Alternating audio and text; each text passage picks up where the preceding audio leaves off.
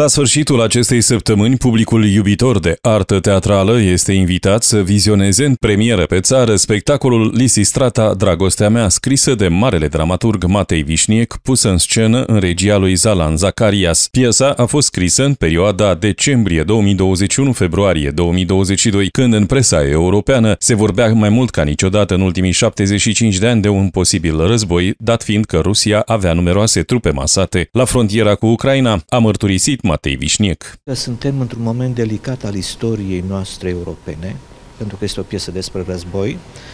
dar și pentru că este un fel de festival al artelor, o bucurie de a gândi realitatea, actualitatea prin artă. Este un spectacol extraordinar de spumos, de viu,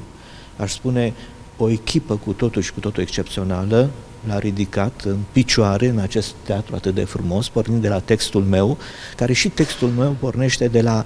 Aristofan. Lisistrata, le amintesc tuturor, a fost inventată de Aristofan cu 2500 de ani în urmă, în timpul războiului din Peloponez, când o ateniancă, Lisistrata, s-a gândit să le propună femeilor atunci greva sexului pentru a-i obliga pe bărbați să nu se mai omoare între ei. Zalan Zacarias, regizor aflat la primul proiect cu echipa naționalului Ieșean, a ales să monteze această piesă fiind convins de actualitatea viziunii transpunerii eroinei ateniene, inspirată din scrisorile lui Aristofan, părintele comediei din Antichitatea greacă. E un text foarte contemporan și uh, eu tot timpul sunt în uh, căutarea textelor contemporane pentru că sunt foarte multe, dar sunt foarte rare care vorbesc uh, cu foarte frumoasă măsură despre problemele noastre uh, uh, contemporane, pentru că avem uh, foarte multe uh, probleme, de, foarte multe taburi, de, taburi de, despre care nu vorbim și uh, prin teatru uh, acestea sunt niște puncte de întâlniri între oameni. Asta uh, poate uh, cauza niște uh, discuții, niște, uh, cum să zic, uh,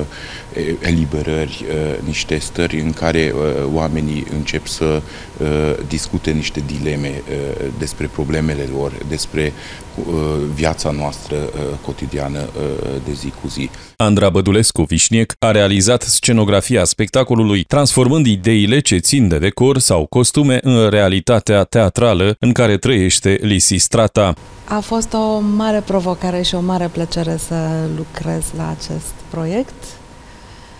cu un regizor extraordinar, cu o dinamică extraordinară, deci uh, am propus un spațiu cât mai simplu, dar cât mai sugestiv, un spațiu modular uh, care se schimbă la vedere, Uh, am vrut să las loc uh, și creațiilor lui Andrei Cozlac. Deci a fost, e o provocare foarte, foarte interesantă. A ieșit un spectacol efervescent, zic eu, așa ca o cupă de șampanie, pe care îl începi cu, cu bucurie, cu râs, cu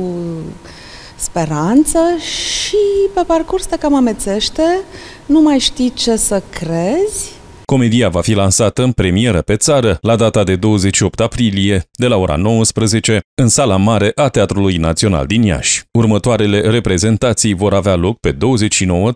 aprilie și pe 11 mai.